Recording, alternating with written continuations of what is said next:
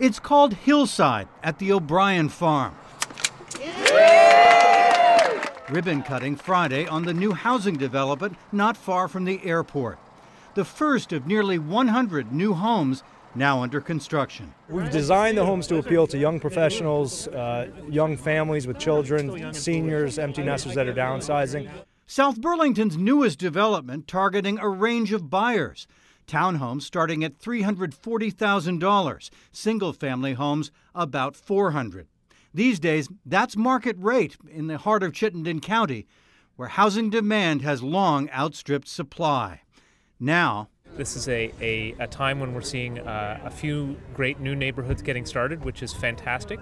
This is phase one, a roughly $30 million project. It comes with new streets, parkland, and walking trails close to amenities and where many Vermonters work. To the Scott administration, that's a good thing. The Vermont needs to grow its economy, it needs to grow its workforce, and it needs to become more affordable. And building homes like these in neighborhoods like you're building here is exactly what needs to happen. In a state with a housing shortage measured in the thousands of units, some developers now say conditions are changing.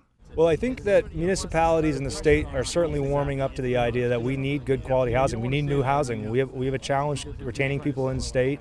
The first units here should be ready for occupancy early next summer. In South Burlington, Stuart Ledbetter, NBC 5 News.